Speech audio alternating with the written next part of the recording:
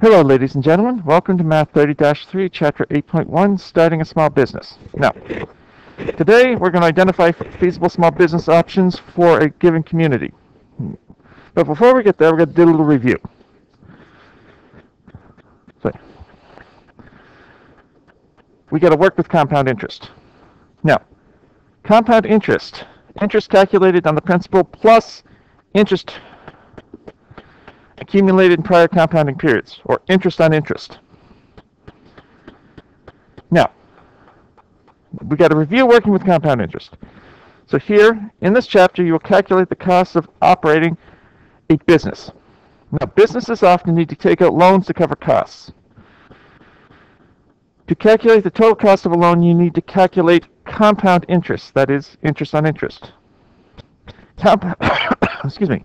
Compound interest is calculated on the principal plus any interest previously earned.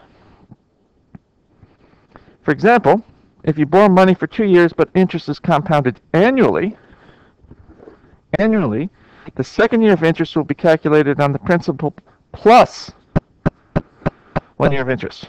You pay interest on the interest. All right? So, business, compound, annually plus.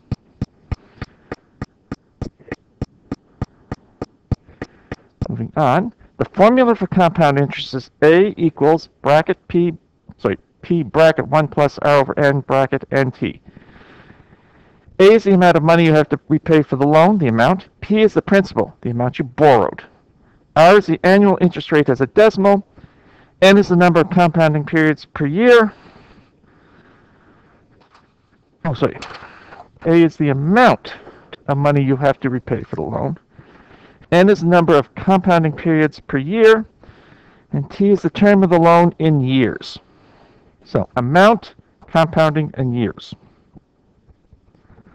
All right, amount, compounding, years. Mitchell takes out a loan for $2,000 borrowed at an interest rate of 3% per annum, compounded monthly for two years. How much money will Mitchell repay in, in total for the loan? Per annum, that's a fancy saying year. Per year. I don't know why they say per annum, mostly just to scare people. Now, how much will he pay back? Well, the amount he pays back is equal to the principal, 1 plus R over N and T. Now, the amount we're looking for. The principal is how much he borrows, $2,000. So that's $2,000. Now, the rate is 3%. Now, one trick here, 3%, that's 3 to the 100, or 0.03. All right? So, now this goes back to the good old days when we literally bought paper by the square inch. We write it as 3% instead of 0.03 to save a little space. I don't know why we still do that. Now, next trick, it's compounded monthly. So, that means every month we pay a compounding period. How many months in a year? So that's 12. N is 12. So that's 12. And 12 times how many years? Two years. Time is two. So, this is just like the sine and cosine law. You got to plug the numbers into the formula. Once you plug them into the formula, it's not bad. But this one sucks. So, $2,000.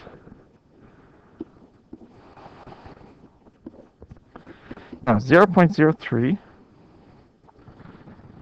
0.03 oh, on, you poopy head. Divided by 12.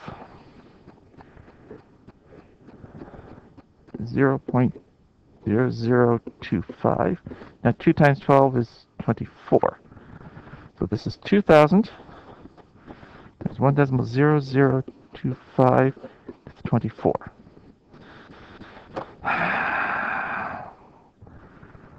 Plus 1 is 1.0025 to the power of 24. So that's 2,000 times one decimal zero six one seven six something like that times two thousand.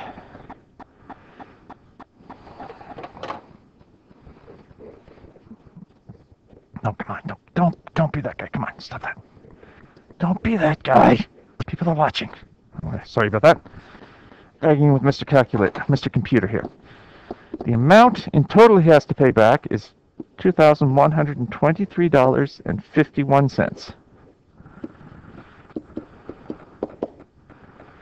So, he borrows 2000 he pays back $2,123.51. So how much does he have to repay? Okay?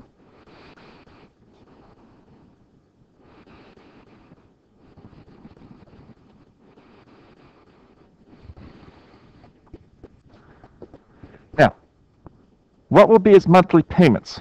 Well, how much does he have to pay back?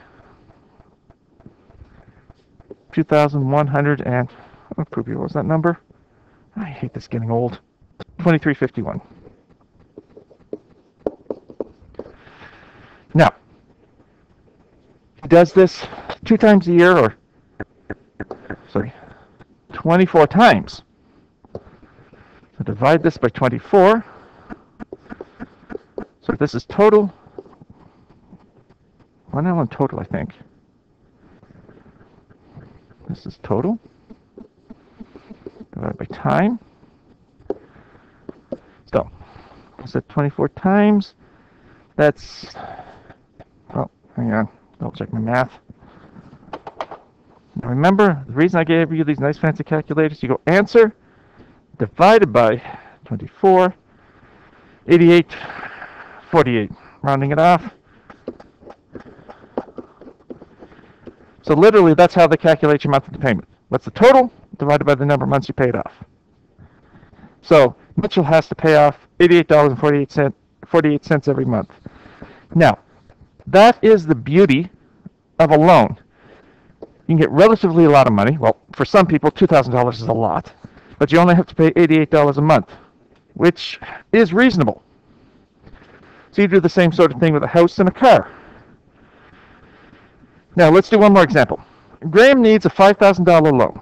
One bank offers him a rate of 3% per annum per year, compounded quarterly for two years. Another bank offers him a rate of 2.25% per annum, compounded monthly for three years. How much would he have to repay for each loan? Ooh, sneaky, sneaky, sneaky. So the first one, let me see. 3% per annum, compounded quarterly for two years. So, actually, I'm going to change the color on that. Sorry. Eraser. No, eraser, sorry. I'm going to highlight that. My apologies. In green. 3% per annum, compounded quarterly for two years. Now, that's the first one. So, A is P 1 plus r to the n n t. You learn to hate these calculations, but still. So the principal is $5,000. So he borrows 5 grand. Now the rate in this first one is 3%. So this is R. And remember you divide it by 0.03. Now the trick compounded quarterly. Now, that's a fancy way of saying quarter a year or four times a year. Ah, I hate these questions. So this is divided by four. And two years. T is two years, so four times two. So, plugging the numbers in here. $5,000 is how much he borrows. Now, Ah, I can't do that in my head anymore. One, oh, you poopy head. One plus, no, 0 0.03 divided by 4, 0 0.0075. And 4 times 2 is 8. Seven five. One is, so this is $5,000. One decimal zero, zero seven five eight eight. Power of eight is zero six one.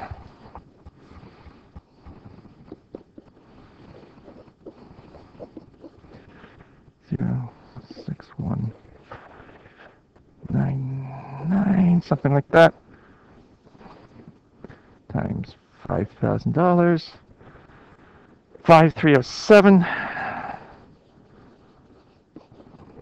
decimal 99. So, the first bank, he has to pay back $5,307.99. Hmm, blood-sucking maggots. I mean, no, sorry, I'm not, no. Banks provide several very important uh, financial services, one of which is lending you money. If you can borrow money, yes, for a business or to buy a house, I borrowed money to buy a house, I borrowed money to buy a car. If I didn't have the, uh, the bank loan, I wouldn't have been able to buy my house. Sorry.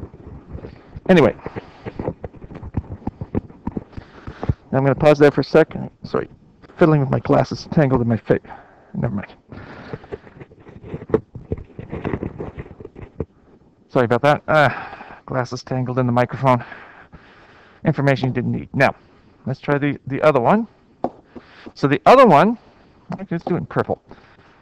2.2.5, 2.25% per annum, compounded monthly for three years. So, this one's a little different.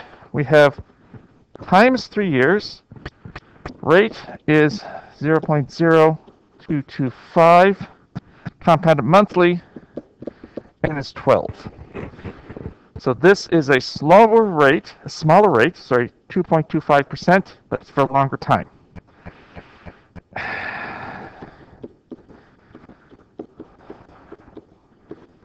Let's plug the numbers in. So that's $5,000 he borrows. 1 plus, I, I'm sorry, this is getting a little long, I realize that. 12 and 12 times 3. So they charge him interest 36 times. No, I'm not going to rant on about blood-sucking maggots. Because banks, as I said, do provide an important... Okay.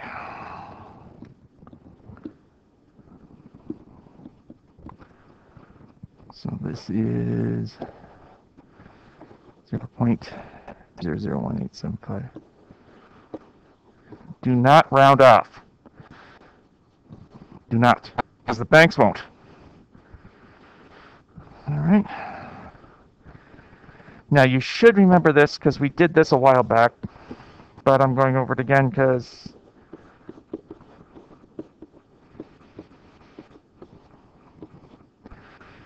add one to that.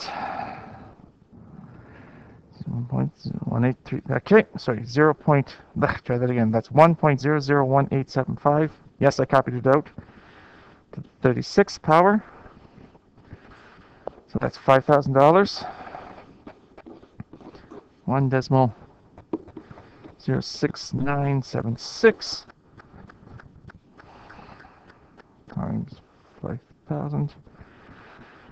5348. 0.81. Now, oh poop, this video is getting too long. Anyway, let's just finish this video. So, how much would Graham have to pay for each loan? First loan is five thousand three hundred and seven dollars. The second loan is five thousand three hundred and forty-eight eighty-one. That would be the monthly payment in each case. Let's just get it done. So 53799.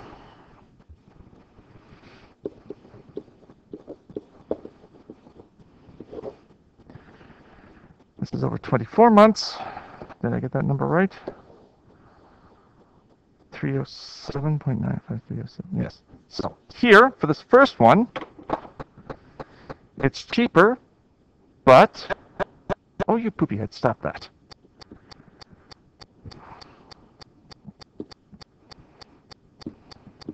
Remember, this is the two-year loan. $221.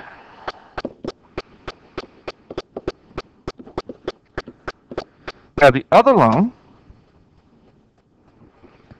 he would pay more,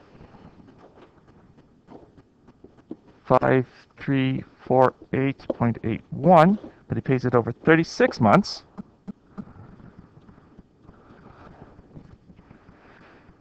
Barakazad. Sorry. So divided by, try that again, 148.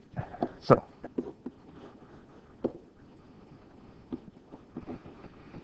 so the first loan where he saves is a little cheaper for him, costs him more per month. The second loan where he pays back a little more, costs a little more, costs a lot less per month. So the question here is one reason. Well, why would he choose the first bank with the bigger with the $221 loan? Well, saves a little money and pays it back faster.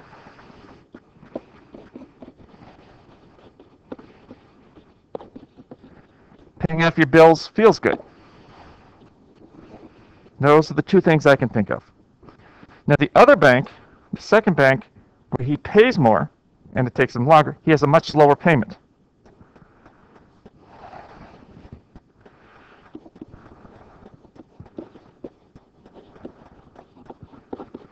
The $148 one is a lower payment. So, for some people, $221 a month is a lot of money. If that's the case, then only paying 148 is a lot less, is a lot easier. Your minimum wage job, $148 is like 10 or 11 hours. Well, with deductions and everything, it's like 12 hours salary. It's it's closer to 18 hours to pay off $221. So if you haven't got a lot of money, the second option is better. It's a much lower payment. All right. Now I'm going to pause the recording here because it's getting ridiculously long, and I apologize. But this is the interest stuff you're supposed to know. Any questions, shoot me an email. Otherwise, good luck.